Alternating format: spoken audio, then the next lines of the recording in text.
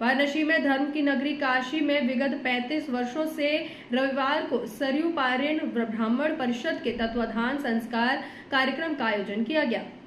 इस मौके पर विभिन्न वर्गों से पहुँचे 105 बच्चों का वैसाख, मुक्त अक्षय तृतीया के अवसर पर सामूहिक यज्ञोपवित्र संस्कार करवाया गया। यह संस्कार काशी के मूर्धनयन कर्मकांडी विद्वानों के आचार्य तत्व में संपन्न हुआ। आयोजन को लेकर केंद्रीय ब्राह्मण सभा के राष्ट्रीय अध्यक्ष एवं सरयू पानी ब्राह्मण परिषद के वरिष्ठ उपाध्यक्ष डॉक्टर नागेंद्र प्रसाद ने बताया कि विगत 35 वर्षों से सभी वर्गों के लोगों को एकजुट कर एक धार्मिक ब्रिज बनाने का काम करते हैं। भारतीय संस्कृति के अनुरूप प्रथम संस्कार वेदारंभ मूल में है। और सभी लोगों को इस संसार से संस्कारवान होना चाहिए। उन्होंने बताया कि इस बार बाटकों के यज्ञ पवित्र की संख्या कुछ कम हुई है, क्योंकि आयोजन धर्म संघ में होना था, लेकिन कुछ कारणों से आखिरी समय में स्थान को बदलना पड़ा। गौरतलब है कि काशी में होने वाले सामूहिक यज्ञ पवित्र संस्थान, संस्कार में न केवल ब्राह्मण, बल्कि क्षत्रिय, वैश्य आदि सहित तमाम वर्गों के बटुक शामिल होते हैं। रविवार के संपन्न हुए कार्यक्रम में यूपी सहित बिहार एमपी सहित विभिन्न प्रदेशों से आए बटुक शामिल हुए। सरयू पारीन ब्राह्मण परिषद के अध्यक्ष पंडित पारस नाथ उपाध्याय की अध्यक्षता में श्रीनाथ सत्संग भवन रविंद्रपुरी एक्सटेंशन में आयोजन संपन्न हुआ। आयोजन में मुख्य यजमान के रूप में परिषद के उपाध्यक्ष पंडित नागेंद्र प्रसाद द्विवेदी ने परिषद के संरक्षक सतीश चंद्र मिश्र ने अभिभावकों, पत्रकारों एवं आगंतुकों को का स्वागत किया। वहीं इस मौके पर सर्वश्री सतीश चंद्र मिश्र गिरीश तिवारी शिवदत्त द्विवेदी रितेश तिवारी वाचस्पति मिश्र पंकज पांडे आशुतोष ओझा मिलन चतुर्वेदी श्री प्रकाश दुबे नरेंद्र नाम त्रिपाठी सुजित उपाध्याय आदि ने व्यवस्था में सहयोग किया। आचार्य श्री प्रकाश जी सहित 21 आचार्यों ने उक्त अनुष्ठान वैदिक मंत्रों के साथ संपन्न किया। हो गया जी। अपना परिचय मैं सतीश मिश्र संरक्षक सरजू बारी ब्राह्मण परिषद। इस समय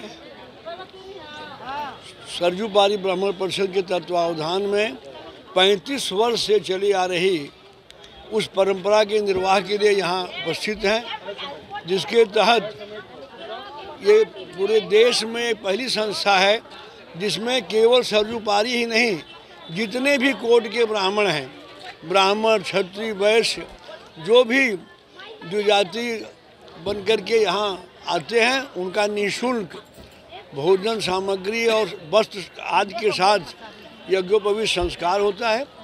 ये संस्कार ये सिद्ध करता है कि सनातन धर्म में जो भी सनातन धर्म के प्रास्तावान हैं यज्ञोपवी धारण करें, गायत्री को धारण करें। निश्चित रूप से हमारा जो विश्व गुरु का दर्जा था, वो प्राप्त होगा। इस कार्यक्रम के सूत्रधार हमारे सरजू बारी ब्राह्मण परिषद के यशस्वी अध्यक्ष पंडित पारसनाथ उपाध्याय जी हैं, जो इस उम्र में भी रात दिन एक करके इस कार्यक्रम को संपादित कर रहे हैं। हम लोग तो उनके सहयोगी की भूमिका में रहते हैं। 24 घंटे के अंदर स्थान परिवर्तन हुआ।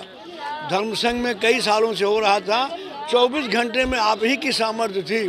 कि वहाँ से बदल बदल करके श्रीनाथ सत्संग भवन में सारा भंडारा से सारा कार्यक्रम हो रहा है। इसमें मुख्य जजमान के रूप में हमारे केंद्रीय ब्राह्मण महासभा के राष्ट्रीय अध्यक्ष और इस संस्था के जो संस्थापक थे पंडित सरजू प्रसाद द्विवेदी जी, उनके परिवार से और इस सरजू पारी ब्राह्मण परिषद के वरिष्ठ उपाध्यक्ष नागेंद्र द्विवेदी जी वर्षों से स्वास्थ्य खराब होने के बावजूद लगातार मुख्य जजमान की भूमिका में रहते हैं। मेन सहयोगियों में नरेंद्र राम त्रिपाठी जी और ये गिरीश तिवारी जी और देखिए अनूप दुबे जी आ गए इनसे बहुत कुछ मिलना हो। शिवदत्त द्विवेदी जी ये सारे लोग जो है नौजवानों की भी टीम आ रही वाचस्पति सब लोग लग करके इस कार्यक्रम को संपन्न कराने में लगे हैं। आप पत्रकार बंधुओं का विशेष हम लोग आभारी हैं कि समय समय पर हम लोगों को इस तरह का सहयोग करके प्रचार प्रसार करते हैं ताकि इसमें कार्यक्रम में उत्तर प्रदेश के अलावा उत्तराखंड, मध्य प्रदेश, बिहार, यहाँ तक कि महाराष्ट्र के भी कई बटू यहाँ आए हुए हैं। तो आप लोगों का बार बार आभार। कल 12 बजे रात हम लोगों ने स्थान परिवर्तन का निवेदन किया। आप सब लोगों ने प्रकाशित किया, इसलिए यहाँ ये भी मेरा नाम डॉक्टर जी सी तिवारी है, संस्थापक ग्लोरियस एकेडमी, और सरयू पारी ब्राह्मण परिषद में कोषाध्यक्ष हूँ। ये कोई नया कार्यक्रम नहीं है, जैसा कि परिषद संकल्पित था कि दो जातियों का, ब्राह्मण, क्षत्रिय वैश्य सभी का जिनके यहाँ उपनयन संस्कार होता है, वो अक्षय तृतीया के दिन हम लोग कराते रहे हैं, वो अनवरत चला आता रहा है। ये 35 वर्षों से लगातार कार्यक्रम चलता रहा है। लगभग सौ की संख्या मानकर हम लोग चल रहे हैं। अभी भी आना जाना लगा हुआ है और भारतवर्ष के तमाम प्रांतों से बिना किसी सूचना के, चूँकि यह तिथि स्थापित हो चुकी है यज्ञोपवी संस्कार के लिए तो लोग वहाँ से अपने अपने बच्चों को लेकर के आते हैं और यहाँ पर विधिवत उपनयन संस्कार होता है।